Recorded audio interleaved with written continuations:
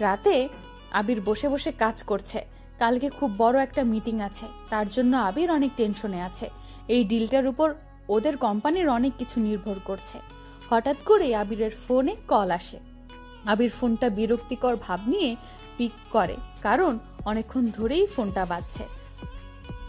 জান এতক্ষণ লাগে ফোনটা ধরতে। কেন ফোন করছ দিয়া আমাকে এত রাতে?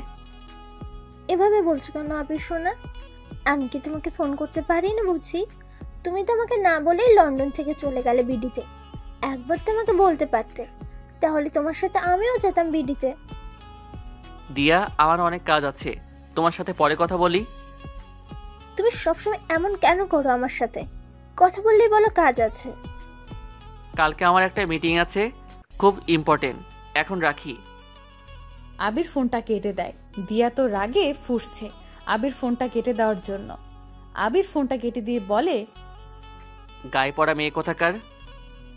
খুব শখ না আমার কাছ থেকে পালানোর মিস্টার আবির রহমান? পালাতে পারবে না এত সহজে যান খুব তাড়াতাড়ি তোমার সাথে আমার দেখা হবে। তখন আর পালাতে পারবে না।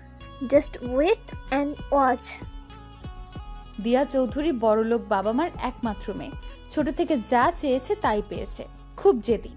আবিরের সাথে দিয়ার লন্ডনে পরিচয় হয়। তখন থেকেই দিয়া আবিরের পেছনে পড়ে আছে। কিন্তু আবির দিয়াকে একদম সহ্য করতে পারে না। কিন্তু দিয়া আবিরকে ভালোবাসে। দিয়ার পরিবার বাংলাদেশে থাকে। অন্যদিকে তিথি বসে বসে ডোরেমন দেখছে আর পপকর্ন খাচ্ছে। রিয়া এসে তিথির পাশে বসে। কি রে তিথি? তুই কি এখনও বাচ্চা? যে কার্টুন দেখছিস?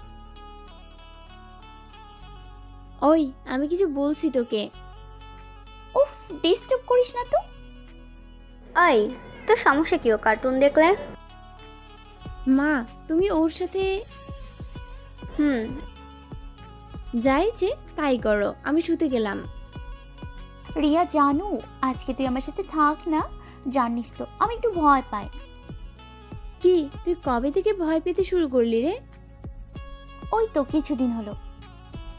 ঠিক আছে থাকব। সকালে তিথি ঘুম থেকে উঠে ফ্রেশ হয়ে নাস্তা করছে। কালকে রাতে তুই কার সাথে কথা বলছিলি রে? রিয়া কাশতে শুরু করে। আরে আরে আস্তে আস্তে খা। নে ধর পানি খা। নিশ্চয়ই তোকে কেউ মনে করেছে। কিন্তু কে মনে করেছে বলতো? আন্টি তো বাসা আছে। নেহার সাথে তো একটু আগে কথা হলো তোর। তাহলে কে মনে করেছে তোকে? নিশ্চয়ই তোর এক্স বয়ফ্রেন্ডগুলো মনে করেছে মনে হয়। রিয়া পানি খায়। এবার বল কার সাথে কথা বলছিলি তুই? কার সাথে কথা বলব? তুই হয়তো স্বপ্ন দেখছিস। আর তোর অফিস নেই আজকে? আছে তো। তো নাস্তা করে অফিসে যা। এত পুলিশের মতো জেরা করছিস কেন? হুম তাই তো আমি অফিসে যাব। অন্যদিকে আবির? মা নাস্তা দাও। দেখ টেবিলে রাখা আছে। আবির আর সবাই চায়ের কাপের উপর থেকে ঢাকনা সরাতেই একে একে সবাই উপরের দিকে তাকায়। মা এসব কি? চায়ের বদলে পানি? আর নাস্তাতে শুধু একটা ডিম আর কলা? রেহান আমার জন্য কি এসব নাকি? হুম তোমার জন্য। বউ এমন নিষ্ঠুর হয়েও না এই অসহায় স্বামীটার উপর। পারব না সদাই হতে আমি তোমার উপর। আজ থেকে তোদের এইসব খেতে হবে। আর যদি না খেতে পারিস তো বিয়ে করে বউকে বল ভালো ভালো রান্না করে খাওয়ানোর জন্য। মা তুমি এভাবে আমাদের শাস্তি দিতে পারো না। আমি সব পারি। আবির বসে বসে ভাবছে নিজের মা তো এমন কিছু করবে না আবিরের জানা মতে। তাহলে কে দিল মাকে এমন ফাউল বুদ্ধি? আবির আর বুঝতে বাকি রইল না কে দিয়েছে এই বুদ্ধিটা। আবির আর কিছু না বলে চলে যায়। আবিরের মা মনে মনে ভাবছে ভাগ্যিস তিথি যাওয়ার আগে আমাকে এই প্ল্যানটা দিয়ে গেছে। মেয়েটার মাথায় বুদ্ধি আছে বলতে হবে। মা এভাবে হাসছো কেন? তোদের জন্য কি এখন হাসতেও পারব না নাকি? না আমি এটা বলি নাই। আবিরের মা নিজের জন্য খাবার নিয়ে আসে। আলুর পরোটা মটন আর সবজি। মা এগুলো কি তোমার জন্য? তুই ব্রেকফাস্ট করে অফিসে যা তাড়াতাড়ি। এখানে বসে থেকে লাভ নেই। আবির অফিসে গিয়ে তিথিকে খোঁজে। কারণ বারোটার সময় তাদের মিটিংয়ে যেতে হবে একটা রেস্টুরেন্টে তিথি আজকে একটু লেট করে অফিসে আসে। তিথি অফিসে আসতে আবির তিথিকে ডেকে পাঠায়। স্যার আসব? আসতে হবে না। বাইরে দাঁড়িয়ে থাকো কিছুক্ষণ। যা বাবা ভেতরে যখন ঢুকতে দেবে না তাহলে ডাকলো কেন? আবির একটু পর কেবিন থেকে বেরিয়ে এসে তিথিকে বলে চলো। কই যাব স্যার? জাহান নামে আবিরের রাগ উঠে যায় যে তিথি তো একই দেরি করে এসেছে আর এখন বলছে কই যাব। কিন্তু কেন স্যার? আপনার যাওয়ার ইচ্ছে হলে আপনি যান জাহান নামে আমি যাব না। এত বেশি কথা না বলে চলো চুপচাপ। আবিরের পেছন পেছন তিথি যায়। গাড়িতে ওঠো। তিথি পেছনের সিটে বসার জন্য গাড়ির দরজা খুলতেই আবির বলে আমি কি তোমার ড্রাইভার হই যে পিছনে গিয়ে বসছো? সামনে এসে বসো। তিথি আবিরের কথা মতো সামনের সিটে এসে বসে। আবির গাড়িতে উঠে ড্রাইভ করছে। তিথি আর চোখে আবিরের দিকে তাকায়। আবির সেটা লক্ষ্য করে। কি হলো? আমার দিকে এভাবে তাকিয়ে আছো কেন? তিথি তাড়াতাড়ি বাইরের দিকে তাকায়।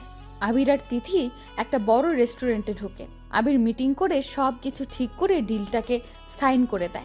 তিথি হঠাৎ করে দেখে তার সামনের টেবিলে রিয়া বসে আছে, একটা ছেলের সাথে। তবে রিয়া এখনও তিথিকে দেখে নাই। তিথি আস্তে আস্তে করে উঠে রিয়ার টেবিলের কাছে যেতে থাকে। আবির তিথিকে নিজের পাশে না দেখতে পেয়ে সামনে তাকিয়ে দেখে তিথি আস্তে আস্তে কোথায় যেন যাচ্ছে। আবিরও তিথির পেছনে যাচ্ছে। তিথি রিয়ার সামনে গিয়ে দাঁড়ায়। রিয়া তুই এখানে কি করছিস? রিয়া তো তিথিকে দেখে চমকে ওঠে আর কিছুটা ভয়ও পায়। কারণ তিথি যে মেয়ে কি যে করে এক আল্লাহ জানে। তিথি ছেলেটার দিকে তাকিয়ে দেখে আকাশ। আর আবিরও তিথির কাছে এসে দাঁড়ায় আর আকাশকে দেখে চমকে ওঠে।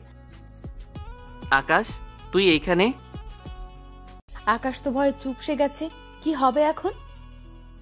না মানে ভাইয়া আসলে আমি আবির কিছু বলতে যাবে তার আগেই তিথি বলতে শুরু করে।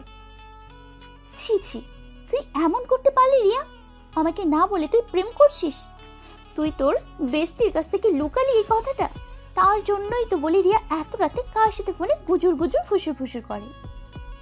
রেস্টুরেন্টে সবাই তিথির দিকে তাকিয়ে থাকে। হঠাৎ করে মেয়েটার কি হলো? স্টপ তিথি। কেন চুপ করব আমি হুম? আমি কি আপনার মুখ দিয়ে কথা বলছি নাকি?